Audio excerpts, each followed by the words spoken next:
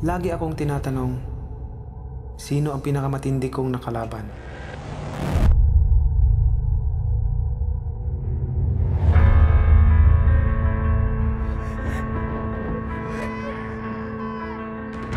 Ang totoo, wala sa akin ang hirap at sakit na naranasan ko sa boxing. Kumpara sa hirap at sakit ng buhay ko bago pa ako pumasok sa boxing.